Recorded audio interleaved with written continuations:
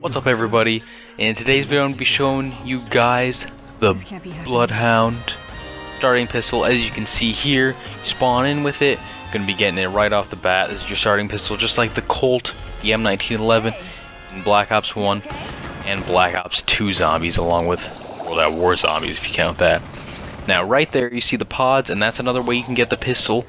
But it's a not too rare of a chance, but you gotta open the first stage pods, and that's the only way you can get them. You cannot get them from the red ones or the purple ones. Here we go, we're gonna pack punch it, see what we got.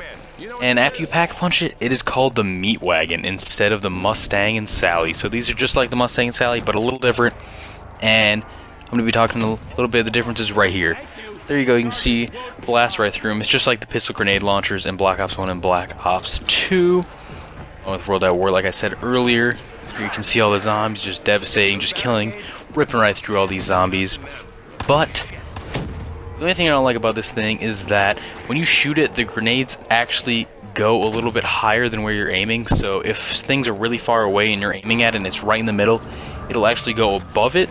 And right here, you'll be able to see, I think it's right here. Yep, right there, I missed, but my sight was actually right on it, but it was a little bit far away, so it went right over the wrap instead of hitting it. That's the only thing I don't like about it is that you can hit yourself and there's no PhD. There is a gumball, however, where you do not take explosive damage, but you gotta wait a little bit and able to use it and have the ability because you gotta wait for that animation thing to happen. So it won't be as useful as having PhD, but there is no PhD, so these things are kind of a hazard and you'll be prone to killing yourself and also prone to making crawlers and that's not really a good thing.